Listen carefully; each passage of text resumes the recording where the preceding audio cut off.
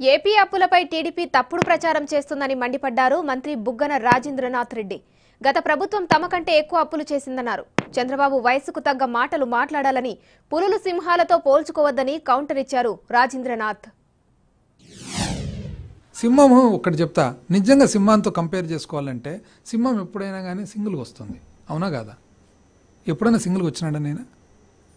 ఏ రోజన్నా కానీ రాజకీయ జీవితంలో సింగిల్గా ఎప్పుడైనా వచ్చినాడా? ఎప్పుడు ఏదో ఒకటే. ముగ్గురు ఏ పార్టీతో అయినా ఇంతవరకు పొత్తు లేదు చెప్పండి.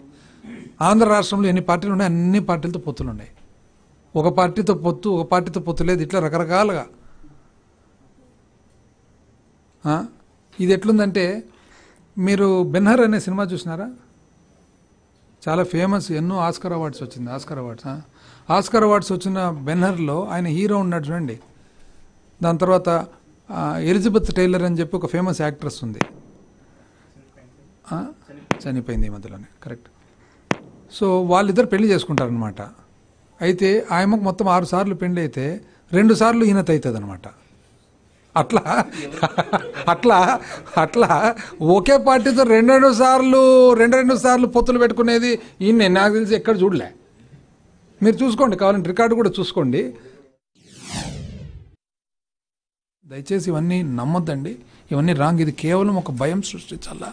ఒక భయభ్రాంతులు సృష్టించాలనేది ఒకటి తప్ప అప్పు రెండు వేల పద్నాలుగు పదహైదు కానీ రెండు పంతొమ్మిది వందల తొంభై నాలుగు రెండు ఇరవై మూడు కానీ చేసిండేది ఎక్కువ చేసిన రేట్ ఎక్కువ. కనీసం మనమన్నా ఒక అప్పు చేసినామంటే బయటికి పోయి పబ్లిక్లో చెప్పొచ్చు. ఏమని? ఈ అప్పు ఎక్కడికి పోయిందంటే డైరెక్ట్ పబ్లిక్ పోయింది. ఎట్లా పోయింది? డీబీటీ ద్వారా పోయింది. ముఖ్యమంత్రి గారు బటన్ ఒత్తుతున్నారు పోతుంది. ప్రతి మనిషికి కుల మతాలకు అతీతంగా ఆ మరి పార్టీలకు అతీతంగా చేరుతుందని. ఆయన దాంట్లో ఏముందండి? ఏదన్నా ఒకటి ఉందా చెప్పుకోగలిగినది. ఆ టైంలో ఇది పక్కాగా ఒకటి జరిగిందని చెప్పుకుండేది దోమలపై దండయాత్ర. మీ ఇంటికి మీ భూమి ఇట్లాంటివి తప్ప ఏది కరెక్ట్గా జరిగినది ఏముంది కాబట్టి దయచేసి పబ్లిక్ అందరికీ నేను కోరేది ఏమంటే ఈ అవాస్తవాలన్నీ నమ్మొద్దండి. కడపకు పోయినాడు నిన్న పులివెందులకు పోయినాడు ఏదేదో మాట్లాడినాడు. కడప ఎయిర్పోర్ట్ కట్టినా అంటాడు. కడప ఎయిర్పోర్ట్ ఎప్పుడండి కట్టింది ఇది? బ్రిటిష్ కాలం నాటిది. హైదరాబాద్ నగరాన్ని నేనే కట్టినా అంటాడు. సెల్ ఫోన్ నేనే కనుక్కున్నా అంటాడు. దయచేసి నేను చెప్పేది ఏమంటే ఇవన్నీ వద్దండి.